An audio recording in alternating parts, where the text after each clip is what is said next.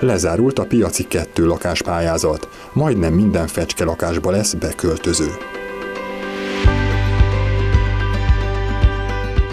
Lakbéremelés az önkormányzati bérleményekben. Nem kellene váratlanul érjen senkit a hír.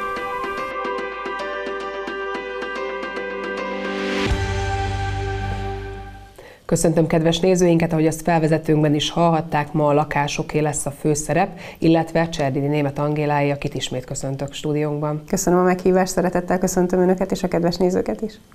Az elmúlt években többször beszélgettünk már arról, hogy milyen jellegű lakáspályázatokat ír ki az önkormányzat, és legutóbb fecske lakásokra is lehetett pályázni többek között. Lezárult ez a pályázat, hogyan látják, mekkora sikere volt ennek a Mondhatjuk azt, hogy új koncepciónak, hiszen ha megnézzük ezeket a lakásokat, azért ilyen jellegű ö, ingatlanra tulajdonképpen nem lehetett az utóbbi időben jelentkezni.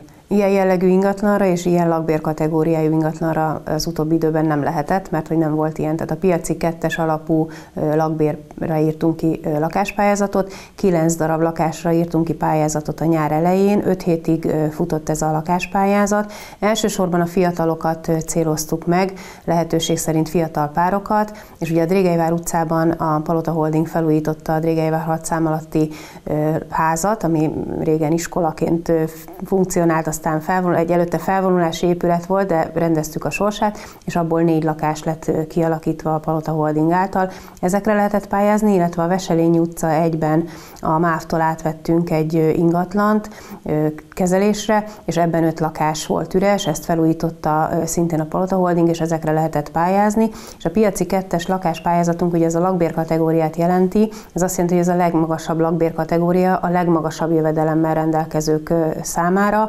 Ugye több, család, több tagú család esetén 280 ezer forint per fő volt a, a minimum, amit el kellett érni, egy, tag, egy embernél pedig 380 ezer forint a piaci kettes lakbérkategória. 71 pályázat érkezett be, ebből nagyon sok érvénytelen volt, és az érvénytelenség okát abban láttuk, látta a bírálóbizottság, hogy egyrészt meghatároztuk, hogy minimum ketten kellett, hogy pályázzanak, nagyon sokan egyedül pályáztak. Tehát ez már kizárók volt, és érvénytelenítette a pályázatot, illetve nagyon sokan nem érték el ezt a jövedelem kategóriát. Én azt merem kockáztatni, megpróbálták beadni a pályázatot, akármilyen jövedelemmel rendelkeznek, hogy hát ha nyernek, azért ennél szemfülesebb a bizottság, tehát a, ha a jövedelem nem éri el a minimumot, amit kérünk, akkor értelemszerűen, de ez minden pályázatnál így van, értelemszerűen érvénytelen a pályázat.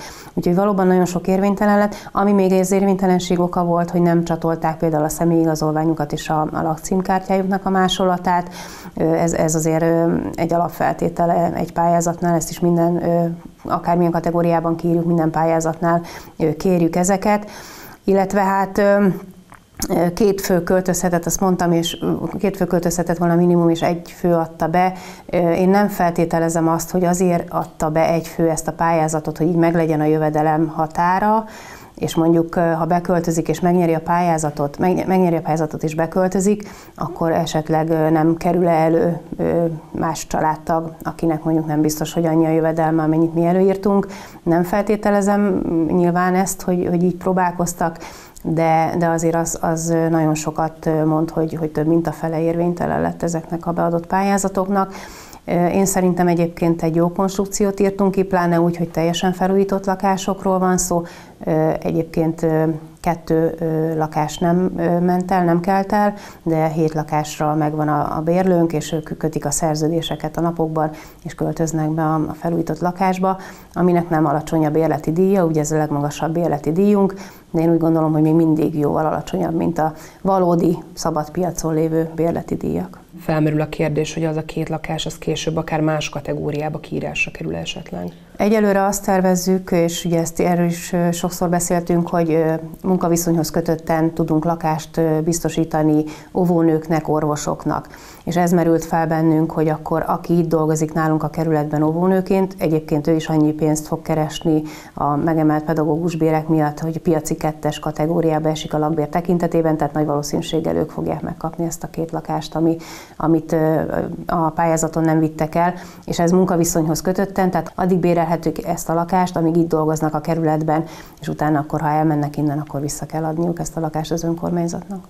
Említette ugye, hogy több kategória van, a több kategória az ugye többféle bérleti díjat is jelent az önkormányzati bérlők esetében, és várható most egy lakbéremelés, ami Elméletileg nem kellene, hogy meglepetésként érje az önkormányzati lakásban élőket, ám mégis ugye az a tapasztalat, hogy vannak, akik ezen hát meglepődtek, vagy akár a mértékével mondhatjuk azt, hogy most szembesülnek, holott ez nem egy friss hír, ha én ezt jól tudom. Ezt jól tudja szerkesztő, és szerintem akkor beszéltünk is róla, amikor ezt a rendeletet elfogadtuk. 2023. március 28-án tartottunk egy lakossági tájékoztatót, tehát másfél éve másfél évvel ezelőtt, arról, hogy a, az egyébként 2011. január 1 óta változatlan bérleti díjakat kénytelen az önkormányzat megemelni, lakásbérleti díjakat. 28-án egyébként egy teltházas, mondhatni teltházas dísztermi lakossági fórumot tartottunk, ahol elmondtuk azt, hogy muszáj megemelnünk a lakásbérleti díjakat, nagyon minimálisan voltak a, a különböző kategóriákban, akkor még három kategóriáról beszéltünk, és ezzel a rendelettel, amit egyébként tavaly áprilisban fogadott el a képviselőtestület, ezzel most négy kategóriáról beszélünk, van a szociális, van a költségelvű és a piaci egyes, illetve piaci kettes lakbér kategória. Igyekeztünk felmenő rendszerben, és nem csak igyekeztünk, hanem felmenő rendszerben történtek ezek a lakbéremelések, tehát akinek tavaly már lejárt a szerződése, akkor ő már az emelt bérleti díjjal kapta meg az új szerződését, de a tömeges és a jövedelem felülvizsgálat alapjául szolgáló bérleti díjemelés az most szeptember 1-től ment ki a bérlőknek valóban. Uh, ahogy említettem, 2011. január 1-én uh, volt utoljára lakbéremelés a kerületben.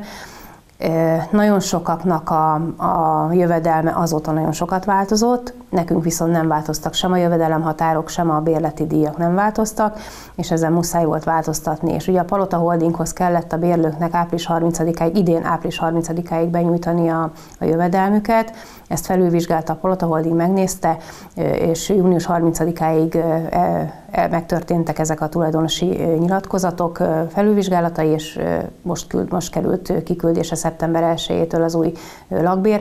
Igen, lehet, hogy nagyon sok embernek nagyon nagyot változott, de azért lássuk be, hogy 12-13 év alatt a jövedelem is nagyon sokat változott, és azt is tudom, hogy a, a boltban a különböző élelmiszereknek a vásárló értéke is, illetve az ára is nagyon sokat változott. Nekünk pedig muszáj az önkormányzat érdekeit egy picit úgy nézni, hogy legalább az önköltséget fedezze a, a, a lakásbérleti díj.